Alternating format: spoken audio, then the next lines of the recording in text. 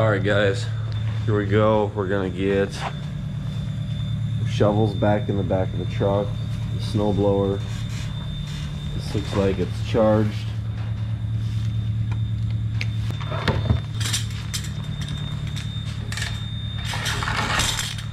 Today's gonna be a long day.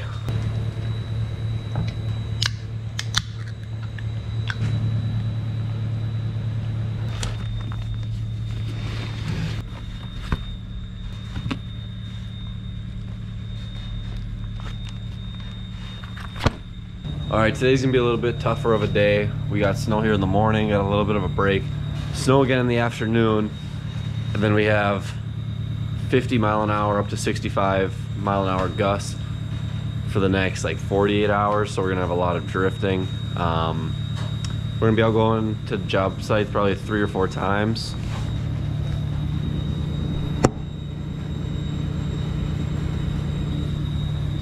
Day three, which will turn into 48 hours. Day three, let's go. Whoa, didn't see you there.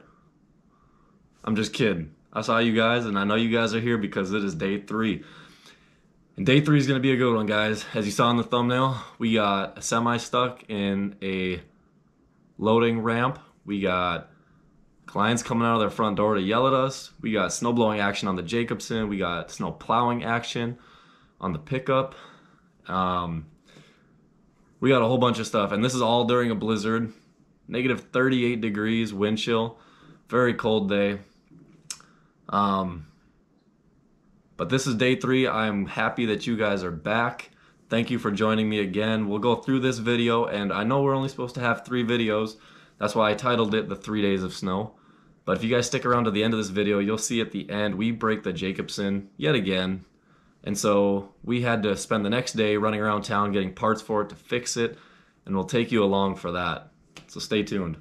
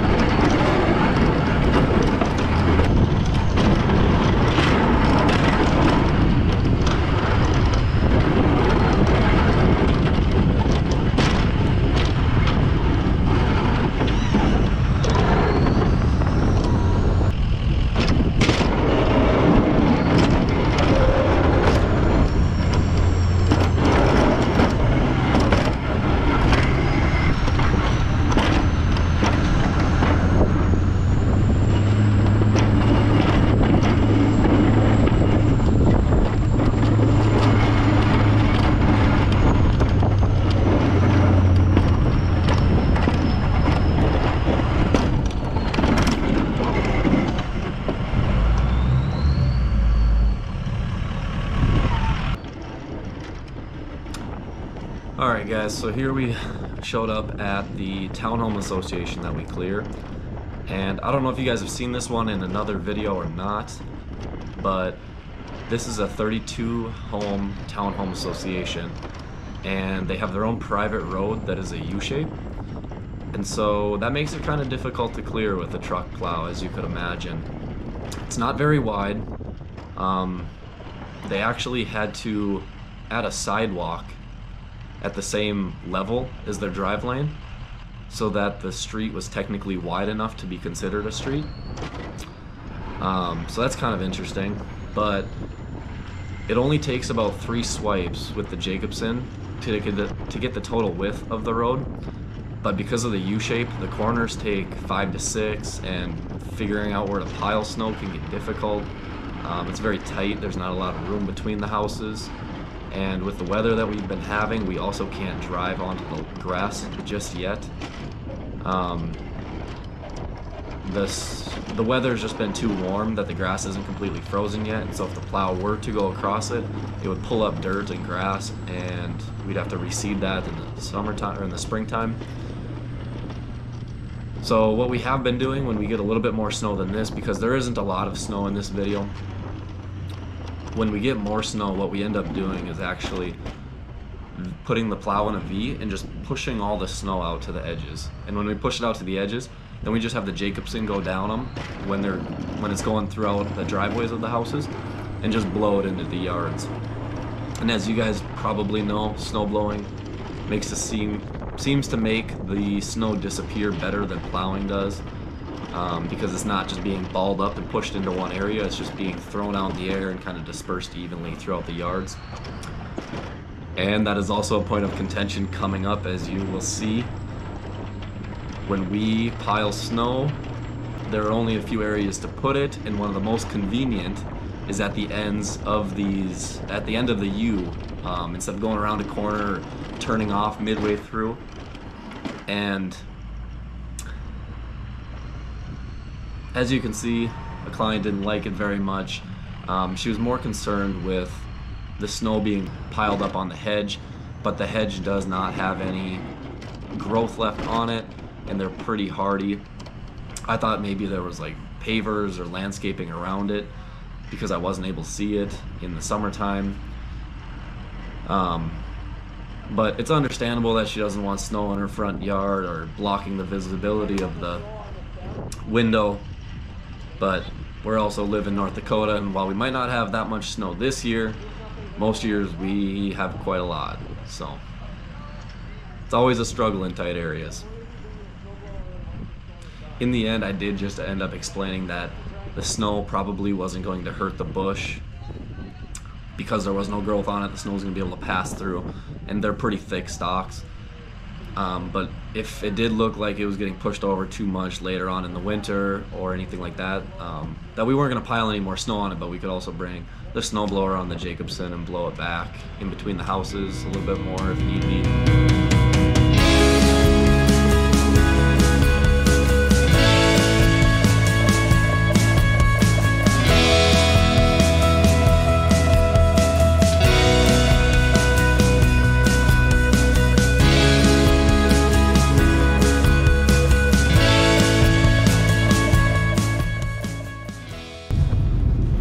Guys, we just got the call that the ice melt is in, so we're gonna go pick that up and get the pallet load in the back of the truck.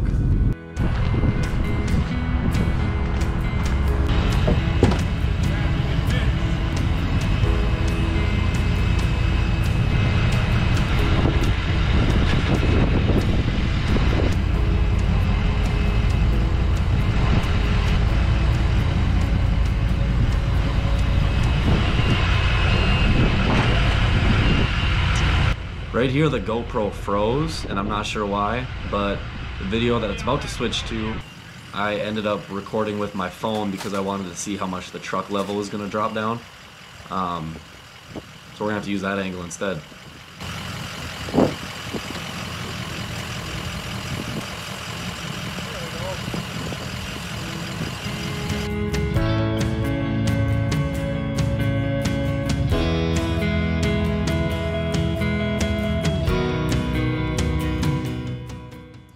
Pretty cold day to be unloading a pallet of ice melt.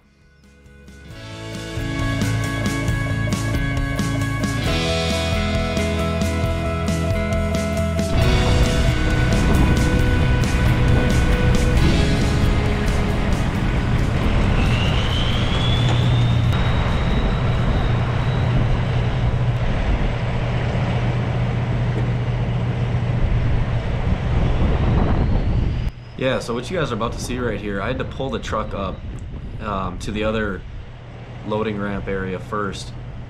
and I had to take the Jacobsen off the trailer because the back of my truck is too high for the trailer jack to reach the ground without some type of like 2x4 or cinder block um, to use underneath it. And I do have a drop hitch that I use in the summertime because the mowers are able to just drive off, off the ramp. But with the Jacobsen, I need the tongue of the trailer higher than the back so that it brings down the back of the trailer and makes the gate less of an angle. And even with that, I still need to use ramps. And those ramps were $300 um, on Amazon to get 3,000 capacity, 3,000 pound capacity ramps. So if you guys have any other options or any other ideas on how to get the Jacobsen off better because the clearance is not good, leave that in the comment section below. Um, I'll definitely look for something to improve it next winter because carrying around the ramps kind of sucks. Having to set it up every time takes a lot of time and then also just if I need to take the trailer off or something, I always need to take the Jacobsen off the trailer or bring those boards with me um, to unhook in a parking lot. But I always forget the board, so I end up taking everything off the trailer and then lifting the trailer off by hand, lifting it back on after. And so what I was actually doing right here was shoveling back behind um, near the entrances, the walk-in entrances, and he had been there the entire time I was there, and so I was wondering if he was finishing off um, unloading his load, or if somebody was inside finishing unloading it. But then he came up to me and tapped on my glass when I got back in the truck and asked if I had any salt or sand, and I said no, I didn't. And I asked if he was stuck, and he said he was. And so I normally have a tow strap with me in my truck, and for some reason I didn't. And actually, let me pause the video right here quick, too.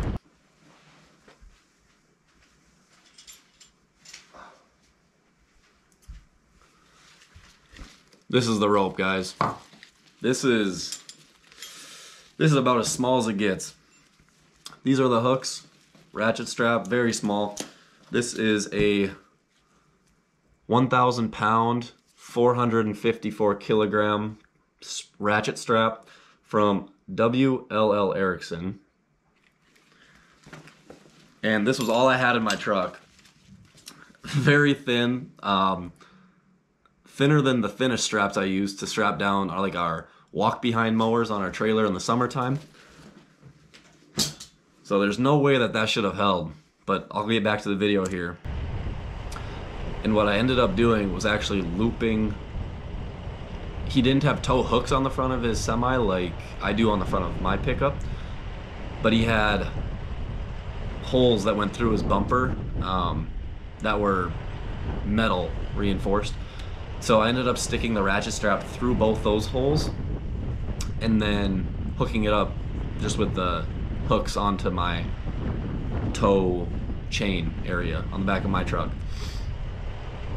He actually did have some straps with him, but they were specialized straps that were meant to strap down cargo inside on a hitch system or a strap system that they have on like the walls and the floors.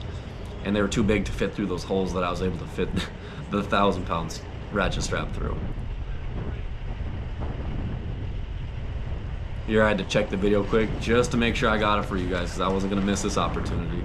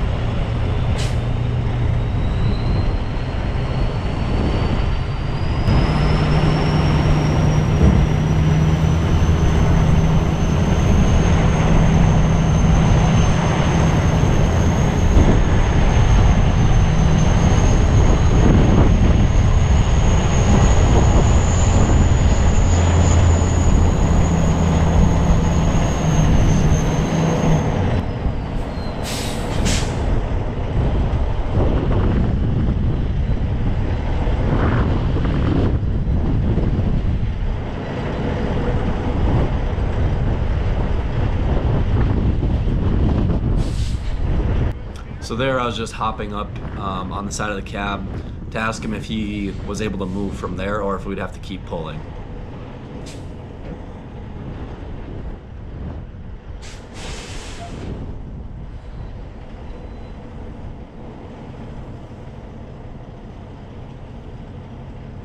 It's a very nice guy that I met. Um, he was in a very good attitude for getting stuck in the middle of a blizzard.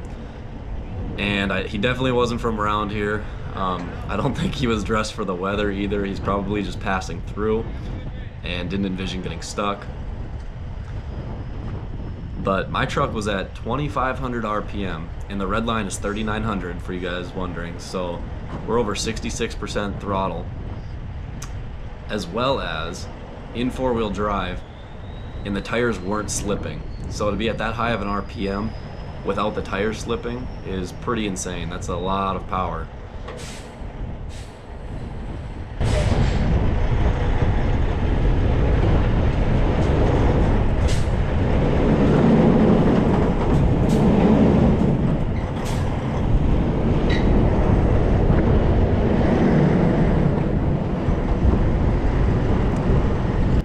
Right there, he was still spinning, his tires were getting out, and the truck started bouncing and wasn't sure if he was able to get out. And I just looked it up for you guys here. The 6.0 uh, Power Stroke diesel V8 engine that I have in my Ford produces 325 horsepower and 560 foot-pounds of torque at 2,000 RPM. So I was a little bit over that RPM range. Um, but in theory, we would have been using all the torque to get him out of there. Pretty crazy.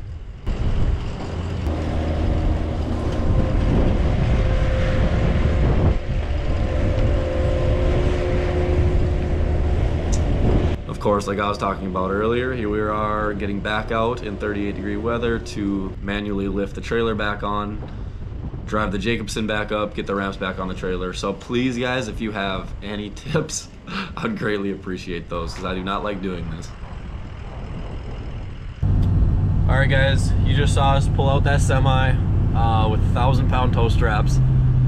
Glad they were able to hold up and didn't snap because um, there was no salt, there was no sand put down at the property. So that was all we could do to get them out.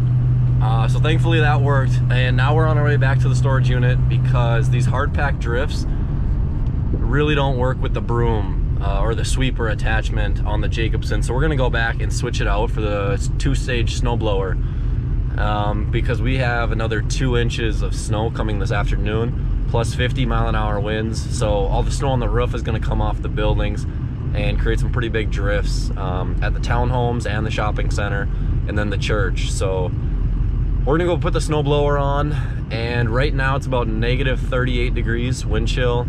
Um, so it's it's cold. Day three, let's go. Cold is exactly right. Man, it was freezing that day. Getting out of the truck for, I think when I looked on the weather app, it said frostbite to exposed skin in two minutes. Um, so not good, but here we are, we're switching it out, and now is probably a good time for our drink review. So today we have another bubbler. This is going to be the Twisted Elixir flavor. So we'll get the first drink impressions of this one as well.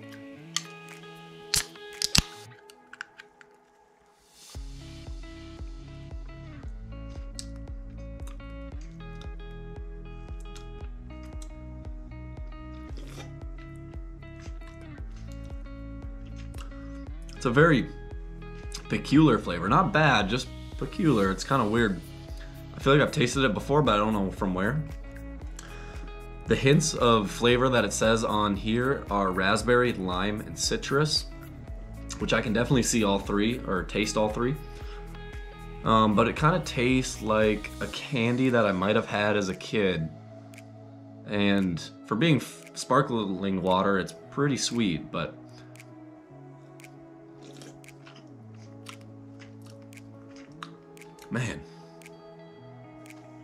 I wish I could think of what it is, because I tell you, I'm not trying to keep it a secret. If I could tell you exactly what it tasted like, that'd be great.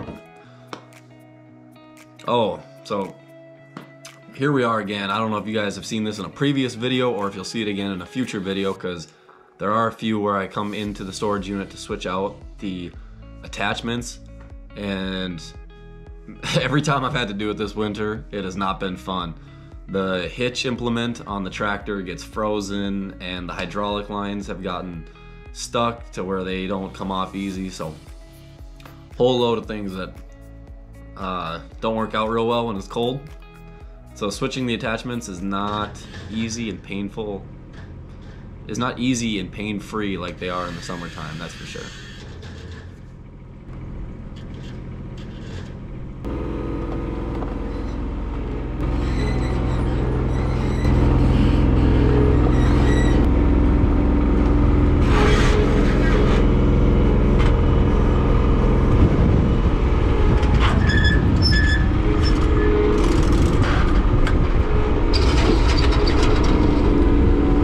Okay, so this is back at the shopping center again. There was a lot of snow in the back area where I was shoveling in the beginning.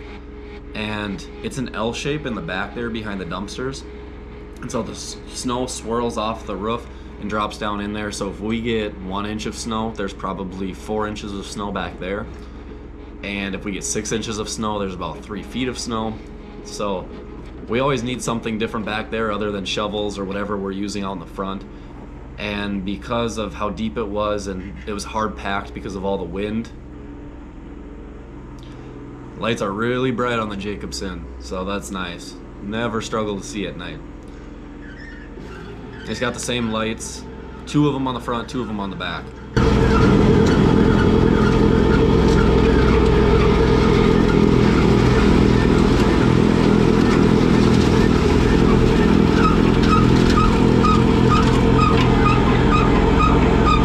do you hear that weird squeak?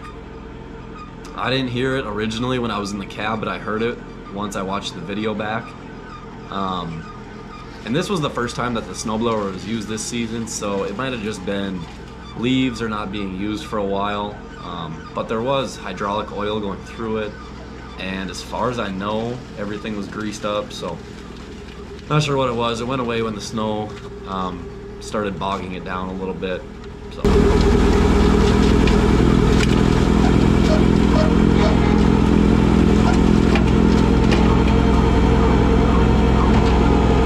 See anything I'm doing dumb here? Yeah, it was windy, and that's why I decided not to put up the chute on the Jacobsen because anything I shot up in the air would just come right back. And so I did get out here to adjust it, and I adjusted it just slightly up. But the damage had already been done. I already blew most of the snow in between the bollards and the dumpsters. And as you guys will see in a different video, we come back and clean that up between the dumpsters just because we didn't want to leave a mess, basically. Would have been nice to put it up and get it right the first time. Remember, efficiency is key.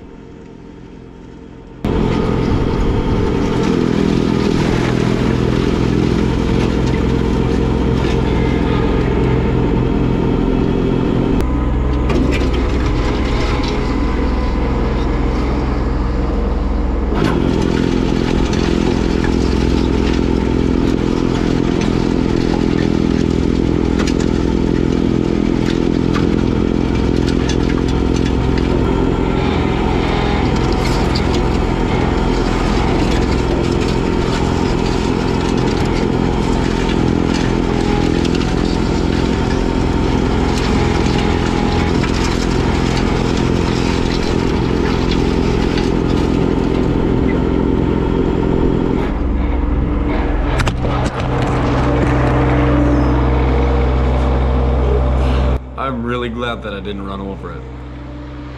Um, I do have the GoPro Plus, I think it's called, that I pay for. So if it were to get broken, it wouldn't be such a big deal. I'd be able to send it in and get a new camera replaced. Um, so in that case, maybe it would have been good to run over it. I can't really wink, but if I could, um, to get a new camera. But it was on the suction cup mount, I believe, on the front windshield, and I'm not sure why it fell off. Um, actually, I do. That was an off-brand suction cup mount that I got from Amazon instead of the GoPro um, the GoPro branded suction cup. And after that other suction cup not really sticking well, like to painted surfaces and things like that, I decided to buy the GoPro suction cup. And guys, there's no comparison. If you guys buy aftermarket accessories for cameras on Amazon, most of them are pretty much the same and work well, but the GoPro branded suction cup is by far better.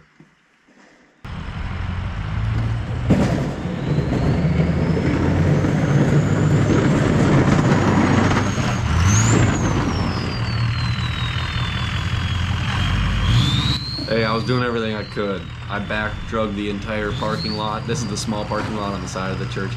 Back drug everything, pushed it all to one pile just so I could hit it. And that was all the snow I could get up, so I'm doing what I can.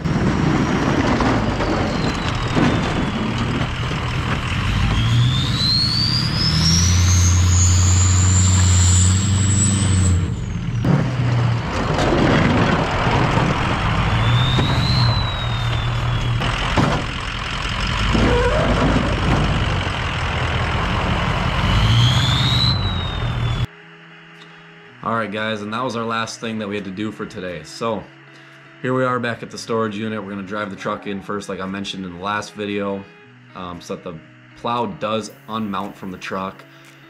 Otherwise, if we try to do it at the front of the storage unit in front of the trailer, because of the angle, it doesn't come off.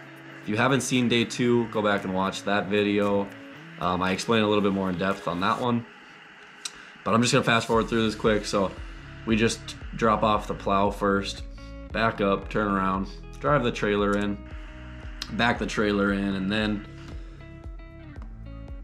unhook it. But this time we're unhooking it on blocks, and you'll see that comes off much easier like that. And that's what we have. So that is what we have for today's video. As you guys saw, we had a whole plethora of things. We had the lady yelling at us very nicely and responding very nicely. Problem was resolved. We had the semi truck getting stuck. We also had the Jacobsen showing off a little bit with the snowblower. We had the truck hitting what we could muster for a pile. So if you guys are still here at the end of this video, so I know who the true patrons of the channel are, go down below and type in the comment you see right here, which for today's video is going to be stuck in a blizzard. Why stuck in a blizzard? Well, because that's what happens. Um, when it's that cold, a lot of cars, batteries don't start. Um, things freeze very easily. And as you saw, the semi was stuck. Luckily, we were able to get them out with Still have them. Thousand pound tow straps. Can't believe they worked, but they did. Um, so guys, if you like this video, please give it a thumbs up. If you guys are not subscribed, please consider subscribing. It'll notify you if you turn the bell on next to it. It'll notify you when all my new videos come out so you guys can follow along with me on what we do throughout the winter and the summer, as well as it'll help the channel out a lot, and I appreciate that, guys. So I think that is all I have for today's video. As I said before, we will have day four coming out, which is going to be a repair day, fixing what you guys saw a little bit earlier with the Jacobsen. It never ends. Um, but thank you for sticking around to the end of this video, and I will see you guys for day four.